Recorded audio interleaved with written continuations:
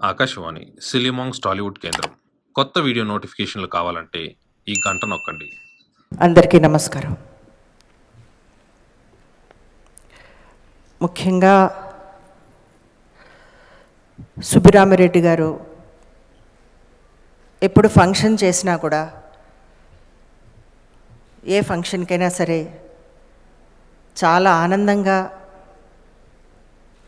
ఎంతో బాగా తయారై వెళ్ళాలి ఆయన ఫంక్షన్ అటెండ్ చేయాలని ఒక ఉత్సాహం ఉండేది. ఈరోజు ఒక తెలియని భీతి భయం. సుబ్రహ్మరెడ్డి గారు ఈరోజు శ్రీదేవి గారి గురించి నీరాజనివ్వడం కోసం మనందరినీ పిలిచారు. ఒక తెలియని దుఃఖం. ఎందుకో? ఎందుకంటే ఒక తెలుగు అమ్మాయిగా తెలుగు బిడ్డగా తను ఎంతో సాధించి ఎన్నో సినిమాలు చేసి జీవితంలో ప్రతి అడుగులోనూ తనకు ఒక లక్ష్యం. ప్రతి మలుపులోనూ తన జీవితంలో ఒక తెలియని ఛాలెంజ్. తనకు తనే పోటీగా ఉండేది.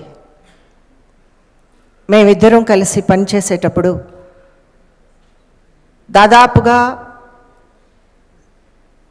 పదిహేను చిత్రాల వరకు మేము కలిసి పనిచేసాం అనుకుంటున్నాను తెలుగు హిందీ కలిపి.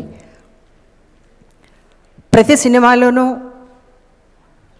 శ్రీదేవి గారు నేను ఎప్పుడెప్పుడు మా కాంబినేషన్ వచ్చినా కూడా ఇద్దరికీ పోటాపోటీగా ఉండేది. ఒక హెల్దీ కాంపిటీషన్. అంటే నేను అందంగా ఉన్నాను అంటే నేను కూడా అందంగా ఉన్నానని నేను నాట్యం చేయగలనంటే నేను నాట్యం చేయగలనని నేను డైలాగ్ చెప్పాలి అనుకుంటే నేను చెప్పగలనని ఇలా ఒక అద్భుతమైనటువంటి ఒక జంట. ఈరోజు తను నిజంగానే మన మధ్య లేదు అంటే అది నమ్మలేకుండా ఉంది. ఆ రోజు నిద్రలేచి టీవీ చూడగానే ఒక పెద్ద షాక్. నాకే కాదు ఇండస్ట్రీకే కాదు ప్రజలకే కాదు అభిమానులకే కాదు అందరికీ కూడా ఒక తెలియని దిగ్భ్రాంతి అలాంటి సమయంలో ఒక విషాదమైనటువంటి వార్త శ్రీదేవి మనతో లేదు అని. కానీ ఒక్క మాట అయితే చెప్పాలనుకుంటున్నాను. నేను నా జీవితంలో ఇండస్ట్రీకి రావడం అనేది నేను ఒక అదృష్టమని భావిస్తాను. కానీ ఎంతమందో శ్రీదేవి అవ్వాలి అనేటువంటి ఒక కోరికతోటి ఈ ఇండస్ట్రీకి రావడం కూడా ఒక అద్భుతమని నేను అనుకుంటున్నాను. చాలామంది నటీమణులను చూశాను చాలామంది నటీమణులతోటి నేను కూడా పనిచేశాను. కానీ ఈరోజు ఒక తెలియని దుఃఖం ప్రతి ఒక్కరిలోనూ ఉంది. అది భరించలేనటువంటి దుఃఖంగా మరవలేనటువంటి దుఃఖంగా అనిపిస్తుంది. ఆమె అతిలోక సుందరిగా సినిమాలు చేసిన తెలియని లోకాలకి వెళ్ళిపోయింది. మనం ఎప్పుడు మరెప్పుడు కనిపించకుండా మరెప్పుడు రాకుండా ఆమె ఆ భగవంతుడి దగ్గర చేరింది. ఈరోజు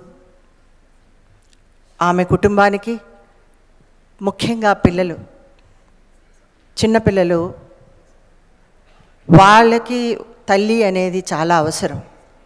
శ్రీదేవి గారు ఒక గొప్ప నటి అయితే శ్రీదేవి గారి నాట్యం కానీ ఆమె యొక్క మాతృత్వం కానీ మనందరికీ తెలిసిందే. పిల్లలు పెద్దవాళ్ళు అవ్వాలి తనలాగే జాన్వి కూడా ఒక అద్భుతమైన నటిగా తీర్చిదిద్దాలనేటువంటి తపన ఎప్పుడు తనకుండేది.